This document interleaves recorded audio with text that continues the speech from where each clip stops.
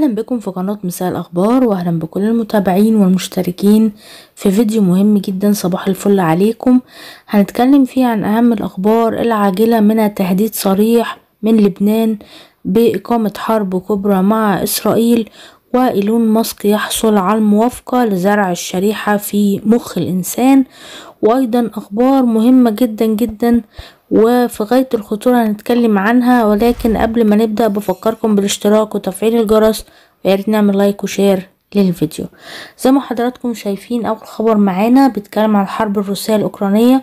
كنا متجاهلينها الحقيقة الأيام اللي فاتت عارفين إن ده بيضرب في ده وده بيضرب في ده وخلاص بقى تأقلمنا على كده أو تعودنا ولكن الموضوع بقى فيه هجوم مضاد وكبير جدا من الأوكرانيين. ما بقاش الهجوم بس على أوكرانيا ولكن خرج الهجوم وبقى الضرب في روسيا نفسها. الخبر ده لسه نازل من حوالي ساعة. روسيا بتسقط صاروخ أوكراني كان موجه فوق أراضيها وده يعتبر برضو تصعيد للحرب. أعلنت السلطات الروسية مساء الخميس التصدي لصاروخ أوكراني في مقاطعة اسمها روستوف الحدودية مع أوكرانيا وقال الحاكم إن نظام الدفاع الجوي أسقط صاروخ أوكراني بالقرب من مدينة اسمها أو بلدة اسمها موروسفسك وزي ما أنتم شايفين وأدي هو Russian Air Defense أو الدفاع الجوي الروسي النشط آه تم آه أو قالوا أو أخبروا إن في مكان قريب من آه مطار حربي أو عسكري في مورز فيسك روستوف region أو منطقة روستوف 290 كيلو متر من الخطوط أو الجبهة الأمامية قدر إن هم يوقعوا صاروخ. ونقلت وسائل الاعلام الروسية إن انطلق نظام الدفاع الجوي في تلك البلدة وأسقط الصاروخ وقوات الجيش تقوم بعملها في المنطقة داعيا السكان إلى الهدوء وإن هما ما يقلقوش من تلك الهجمات. فالموضوع للأسف زي ما أنتم شايفين فيه تصعيد شديد جدا ما بين الدولتين وممكن يؤدي إلى حرب كبيرة أكتر وأخطر من اللي إحنا كنا شايفينه السنة اللي فاتت. الخبر التاني بعد كده عن آه فيتو. إيلون ماسك يحصل على موافقة رسمية لبدء تجارب غرس شرائح في دماغ البشر. كان الكلام مجرد نظريات وكلام في ناس بتقول مايا صبحي اتكلمت عنه في ناس كتير اتكلمت عنه من المتوقعين أو الناس اللي شغالة في الذكاء الاصطناعي وخطورته والكلام الجميل ده كله.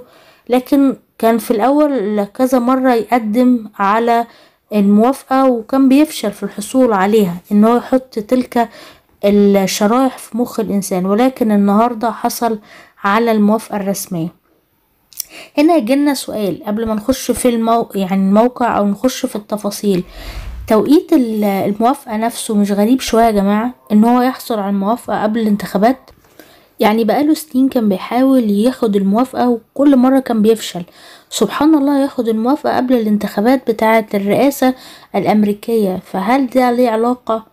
يعني ولا لأ؟ الله أعلم. خصوصا إنه دلوقتي ماسك تويتر اللي هو يعتبر أكبر محرك لوسائل التواصل الاجتماعي في أمريكا. فدي أسئلة كتيرة قوي بتحرك الدماغ يعني. المهم الخبر بيقول زي ما أنتم شايفين آه إيلون ماسك أعلنت شركة نيورلينك المملوكة للملياردير الأمريكي اليوم الجمعة إنها حصلت رسميا على موافقة إدارة الغذاء والدواء الأمريكية لاختبار غرسات الدماغ على البشر.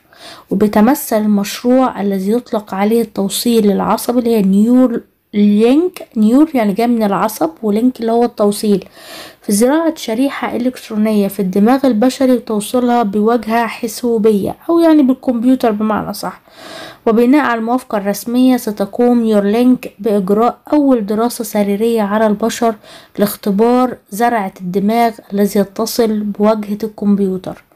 وبيقول كمان نشرت الشركة تغريدة بهذا الشأن جاء فيها نحن متحمسون لإبلاغكم بأننا تلقينا موافقة هيئة الغذاء والدواء الأمريكية لإطلاق أول تجربة سريرية هذه يعني ده يعتبر نتيجة العمل الرائع اللي قام به فريق نيورلينك بالتعاون الوثيق مع إدارة الغذاء والدواء الأمريكي وبيمثل خطوة أولى مهمة هتسمح لتقنيتنا يوما ما بمساعدة العديد من الأشخاص. بس يعني دي حاجة تخوف على فكرة. تخيلوا دماغ البني آدم تكون متوصلة بكمبيوتر يعني لو واحد مريض هو اللي ماسك الكمبيوتر هيتحكم في دماغ البني آدم ده. وحاجات تانية كتير يعني الحقيقة تخوف. مش عارفة إزاي قدروا ان هما يوصلوا إلى هذه الموافقة. لكن زي ما بقول لكم هي لها علاقة بالانتخابات الأمريكية زي ما أنا بقول لكم. طيب نكمل مع بعض الأخبار وتحذير مهم جدا. حقيقة النهاردة من كام ساعة تقريبا كل الأخبار بتتكلم عن تصريح عاجل من نصر الله. بينذر بنشوب حرب كبرى مع إسرائيل والكلام مش من عندي. الكلام واضح قدام حضراتكم هو نازل على موقع صدى البلد. النهاردة صرح الأمين العام لحزب الله اللبناني في عيد المقاومة والتحرير. دي مناسبة بيحتفل بيها كل سنة وقال من يشتبه بأن المعركة انتهت مع عدونا فهو واهم وهناك جزء من أرضنا مازال محتل. يعني إحنا لسه ماشيين ومش هنسكت لغاية ما نرجع كل الأراضي. وقال كده في الكلمة اللي قالها النهاردة عيد المقاومة والتحرير مناسبة عظيمة بتذكر بالانتصار العظيم الذي تحقق في لبنان في مثل هذا اليوم. الشكر لكل من ساهم في النصر من مضحين وفي مقدمهم الشهداء والجرحى والأسرى والمحررين والمجاهدون وعائلاتهم كلهم.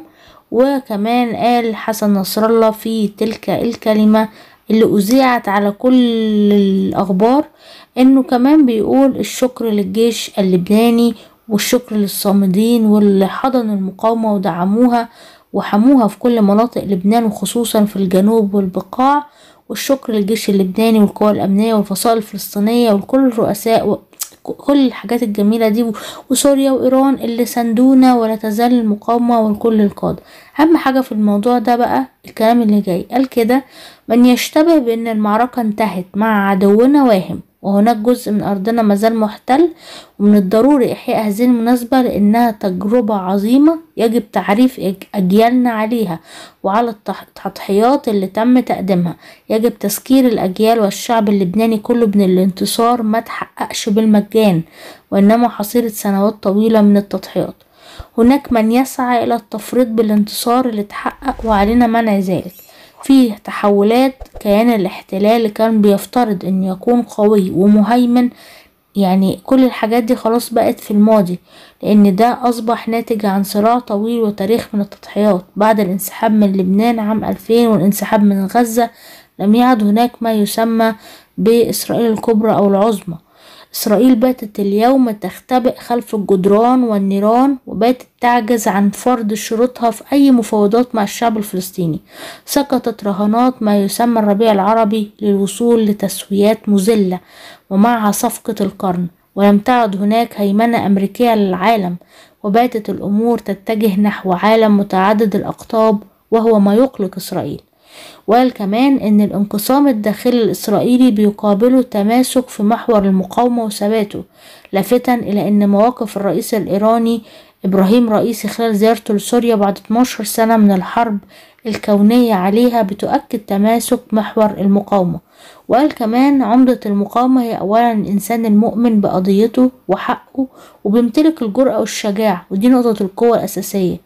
وأيضا قال إن تيار المقاومة والممانعة في المنطقة دلوقتي بيمتلك قدرة بشرية ممتازة إن كانت معنويا زي اللي ما بنشوف كده في غزة والقدس والضفة والمنطقة القدرة البشرية الممتازة في محور المقاومة بيقابلها تراجع في القوى البشرية الإسرائيلية وهروب الإسرائيليين من القتال. فبيقول إيه لستم أنتم دي رسالة بيوجهها لإسرائيل لستم أنتم من تهددون بالحرب الكبرى وإنما نحن الذين نهددكم بها. أو شايفين الكلام عامل إزاي؟ وأي حرب كبرى ستشمل كل الحدود. وستضيق مساحتها وميادينها بمئات آلاف المقاتلين ولدينا تفوق هائل في البعد البشري. يعني ما تحسبش إسرائيل إنها لما تضرب نقطة معينة إن كانت في سوريا أو في لبنان أو نقطة معينة في فلسطين إن هي هتحارب الناس الموجودين في تلك النقطة. لا هتبقى حرب من كل الجهات على جميع الحدود. والكلام بقى تصريح آخر نزل برضو على موقع مصر اليوم من حوالي نص ساعة تقريبا بيتكلم فيه عن برضو كلام تاني غير اللي قاله وقال كده إن إسرائيل لو ارتكبت خطأ أو بيحذرهم لو ارتكبوا أي خطأ قد يؤدي لتفجير كل المنطقة ويقود إلى حرب كبرى. وقال كمان بمناسبة ذكرى عيد التحرير الجنوب اللبناني بنحذر قادة العدو من أن يخطئوا في التقدير وأن يتخلوا عن عنجهيتهم لأن الزمان اليوم يختلف عن السابق. وقال كده الجانب الإسرائيلي يعلم أننا لا نخاف منه وهو الذي يجب عليه أن يخاف. إذا ظن الإسرائيلي أن الحرب الكبرى ستكون مع الفلسطينيين فقط أو اللبنانيين فقط فهو مخطئ. معادلة الردع اليوم بيحسب لها الإسرائيلي ألف حساب لأنه بيعلم أن أي تصرف من قبله سيحاسب عليه في كل الساحات. وقال كمان لقد سحب الإسرائيلي كل التهديدات التي أطلقها في الأيام الماضية لأن المستوطنين حاسين بالرعب والموسم السياحي لديهم في خطر بالإضافة إلى قيمة عملتهم بتخسر أمام الدولار. نقطة القوة لدى المقاومة هي تماسك الجبهة الداخلية وغياب القيادات الموثوقة والمؤثرة لدى الإسرائيلي. كلام واضح جدا وقوي جدا وتحذير في غاية الخطورة ومهم. كمان النهاردة من ضمن الأخبار المهمة على موقع روسيا اليوم في خبر نازل بيتكلم عن إن أمريكا خايفة من إيران. أمريكا خايفة من إيران. أمريكا بتحذر من تهديد جدي بعد كشف النقاب عن صاروخ إيراني جديد. النهاردة حذرت أمريكا من تهديد جدي أو في تهديد في غاية الخطورة تعليقا على كشف إيران النقاب عن صاروخ باليستي جديد بيبلغ مداه ألفين كيلو ويقدر إن هو يشيل رؤوس نووية يتجاوز وزنها الطن. وفي التفاصيل أوضح المتحدث باسم الخارجية الأمريكية ماثيو ميلر قال كما سبق أن قلنا بوضوح أن قيام إيران بتطوير وإطلاق صواريخ باليستية بيشكل تهديد جدي للأمن الإقليمي والدولي مؤكدا أنه رغم القيود اللي فرضها المجتمع الدولي فإن إيران بتواصل حيازة تكنولوجيات مرتبطة بالصواريخ الباليستية من مزودين أجانب وإجراء اختبارات لصواريخ باليستية في معتبر انتهاك لقرارات الأمم المتحدة هما خايفين منهم. يعني برغم العقوبات اللي موجودة على إيران إيران قدرت إنها برضو تجيب الحاجة اللي هي عايزاها من مزودين بقى أجانب أيا كان هما جايين منين. طبعا كلنا فاهمين أكيد يعني من روسيا من الصين الحتت دي يعني. وقال كمان المتحدث إن إيران مزودة بالسلاح النووي هتتحرك في شكل أكثر استفزازا. عشان كده بنحاول التحذير من امتلاك إيران سلاح نووي. دلوقتي إيران زي ما بيقولوا كده بتعمل قنبلة نووية. ودلوقتي طورت سلاح نووي يبقى كده معاها القنبلة ومعاها السلاح اللي هيرمي القنبلة. عشان كده أمريكا مرعوبة. والنهاردة كشفت وزارة الدفاع الإيرانية النقاب عن خيبر الجيل الرابع من صاروخ خرمشهر الذي يعد الأبعد مدى في ترسانة الصواريخ البالستية الإيرانية يعني حاجة جديدة وكبيرة. في مراسم بثها التلفزيون الرسمي مباشرة وعرض خلالها مجسم للمسجد الأقصى. مصدر الخبر فرانس بريس على موقع روسيا اليوم. كمان الخبر اللي معانا بعد كده على سكاي نيوز بيتكلم عن العراق. العراق بيواصل استرداد آثاره وتفاصيل عودة قطعتين من واشنطن. هوريهم لحضراتكم. زي ما أنتوا شايفين دي أول قطعة على شكل تور ومن مدينة أورك الأثرية. التمثال ده من المرمر وبيعود تاريخه لأربع تلاف سنة قبل الميلاد يعني حاجة بعيدة جدا سحيقة بمعنى أصح. الصورة التانية دي صورة فيل من الحجر الكلسي وبرضو في نفس المنطقة أو في نفس الزمن من أربع تلاف سنة.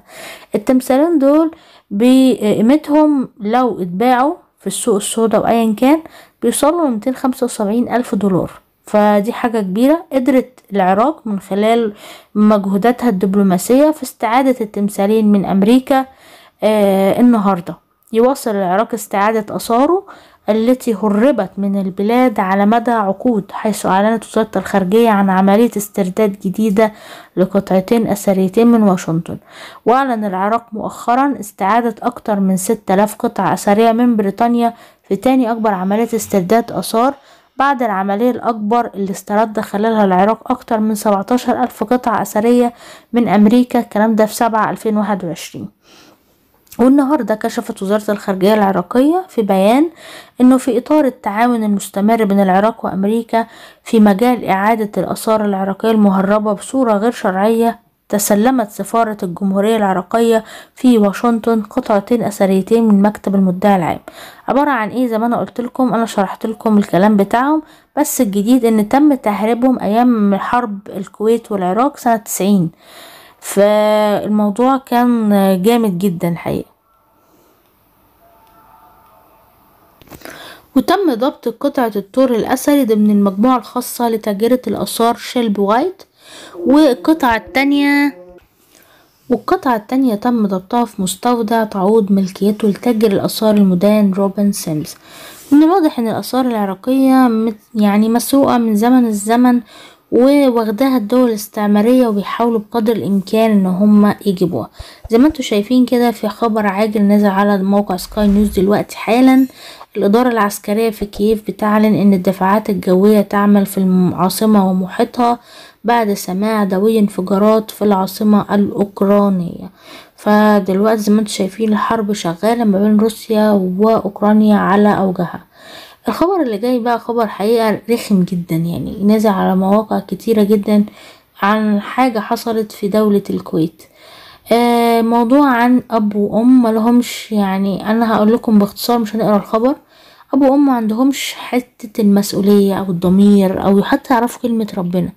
اب وام مخلفين أربع بنات وولدين.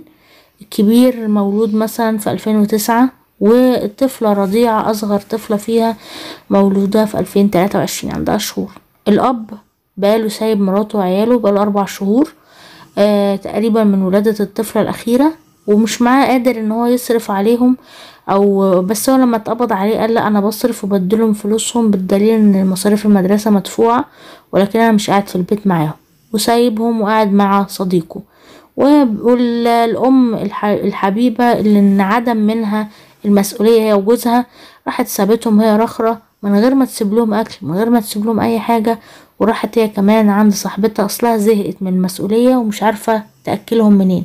فالحل إنها تسيبهم كده يتصرفوا مع نفسهم اللي بيحصل بقى إن الأطفال هم اللي بلغوا على أهاليهم وده بعد إن هم حاولوا إن هم يعني يمسكوا هم المسؤولية بتاعة البيت. كان عبارة عن كبار الكبار كان كلهم بيروحوا المدرسة ما عدا واحد بيقعد مع الطفلة الصغيرة وكان كل يوم واحد يغيب والتاني اللي يقعد وهكذا بيتناوبوا على رعاية الطفلة الصغيرة. ولما الأكل خلص ومبقاش حتى في معاهم أكل يأكل الطفلة الصغيرة دي اتصلوا بالشرطة وبلغوا إن هما لوحديهم ومعهمش ولا أب ولا أم يحموهم أو يأكلوهم. استجابت الحقيقة الشرطة الكويتية للبلاغ وراحوا بسرعة للولاد وراحوا جابوهم المخفر عندهم وقدموا لهم الوجبات اللازمة لأن العيال كانوا ميتين من الجوع. وطبعا راحوا جابوا أهاليهم من قفاهم وحققوا معاهم وكل واحد اتلكك بالتاني وقال ده هو السبب لا دي هي السبب. المهم في الآخر الكويت أصدر قرار النهاردة بأنهم هيديهم حاجة اسمها إقامة مؤقتة عقبال ما العيال تخلص الدراسة وبعدهم يتنقلوا إلى مصر بلدهم وعدم عودتهم مرة تانية لدولة الكويت نظرا اللي عملوه كعقاب ليهم. حقيقة عقاب يعني دولة في غاية يعني إن هم لحقوا العيال كتر ألف خيرهم. يعني الأهل دول مفروض أصلا يتعدموا كده. يعني مش عارفة الواحد يقول إيه. ساب التعليق لحضراتكم. شكرا ليكم وعلى وجودكم معانا. كان فيديو طويل شوية ولكن كان فيديو مهم. فيه أخبار مهمة بتحصل حوالينا. ما تنسوش التعليق عن الحاجات اللي اتكلمنا عنها وتقولوا لنا رأيكم فيها. وأيضا ما تنسوش الاشتراك لو أنتوا جداد وتفعيل الجرس عشان تقدروا توصلوا أو تقدروا آه تتواصلوا معانا في كل الأخبار الجديدة وتعرفوها أول بأول خلال 24 ساعة.